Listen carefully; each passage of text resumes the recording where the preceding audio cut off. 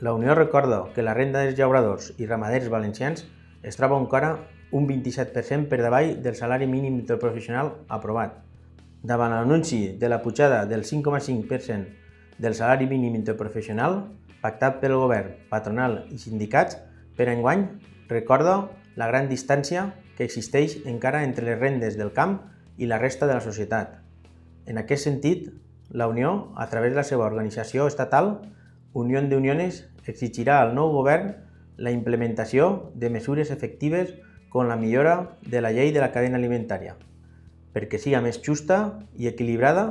i que garantisca unes rendes dignes per a tots els llauradors i ramaders professionals en l'àmbit estatal. Perquè es puga materialitzar aquesta proposta de pujada del SMI plantejada,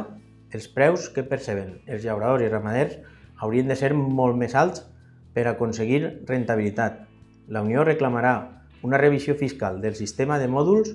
que contemple tant la pujada actual de l'SMI com l'actualització automàtica quan es produïsquen les previstes per als pròxims anys, amb l'objectiu